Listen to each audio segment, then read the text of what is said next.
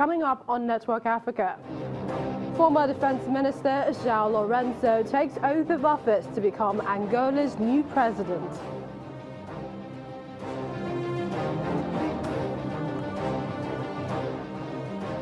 Armed policemen deployed outside Election Commission in Nairobi ahead of planned protests by Raila Odinga's main opposition coalition. Chadian government calls for better clarification of U.S. travel ban and invites President Donald Trump to reconsider decision.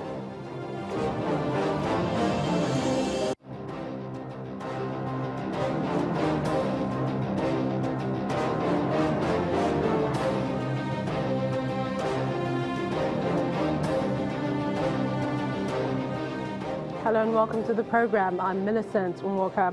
We begin with João Lourenço, who has been sworn in as Angola's president at a ceremony in the country's capital, Luanda.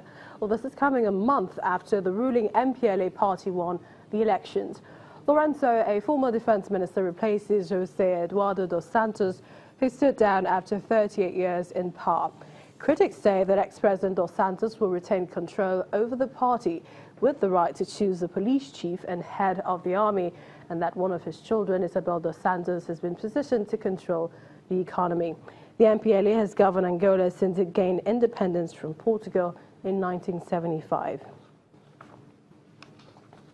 Well, for more perspective is Dr. Ferdinand Otto, a lecturer of the Political Department, University of Lagos, and he joins us uh, via the telephone. Welcome to Network Africa.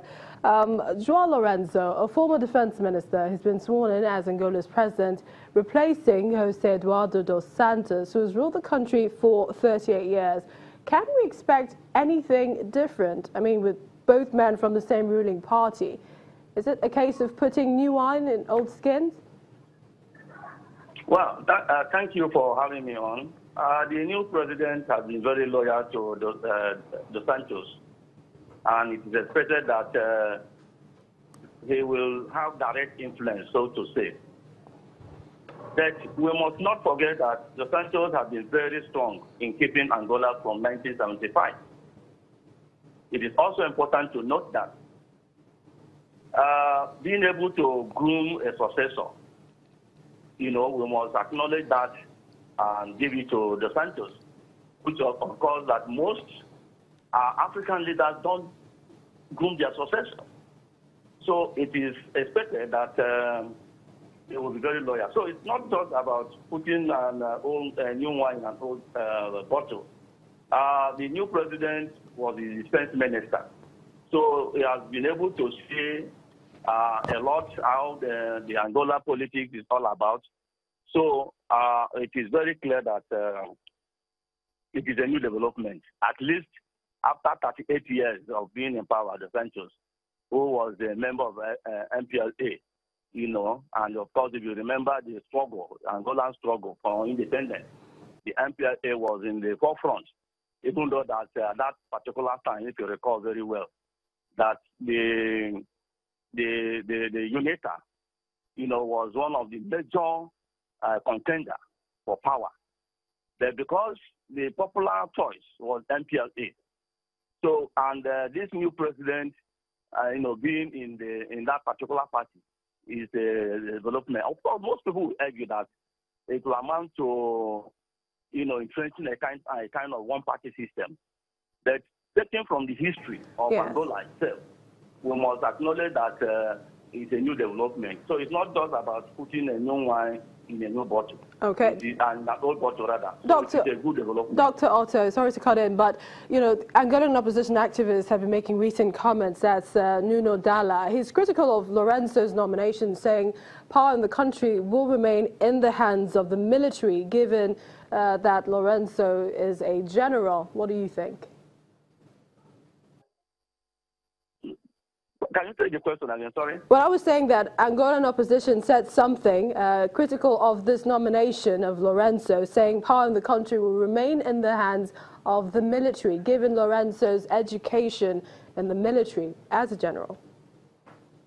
No, it's not. It's not. It's not the issue of the uh, the, the, the the power being in the hands of the military. No, it is not true because, of course, if you if you understand the the is to understand their politics, right? So the the the the the, the, the, man who was the defense minister now becoming the president, there's nothing. I don't see anything that is wrong in it, you know.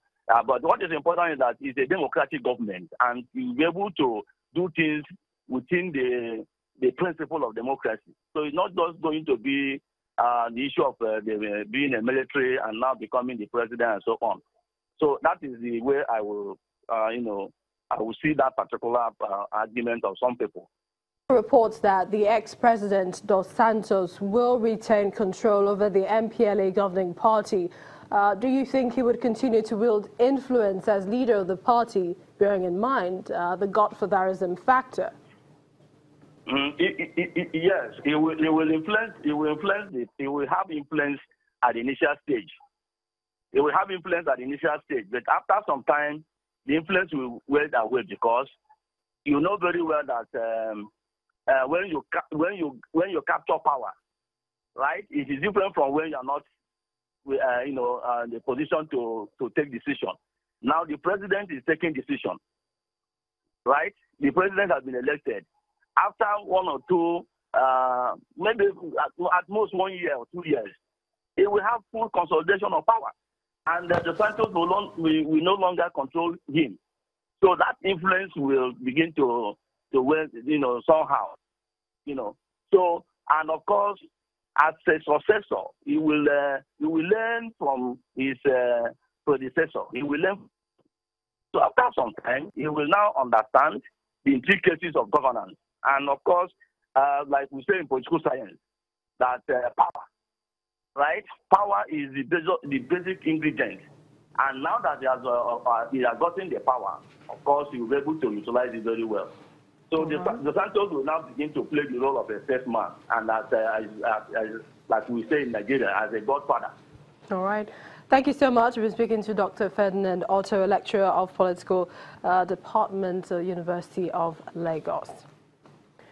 A Kenyan MP, Ongili, better known as Babu Owino, well, he has been charged with insulting President Uhuru Kenyatta. According to local media, Mr. Ongili has been charged with two counts of subversion and uttering abusive words against President Kenyatta.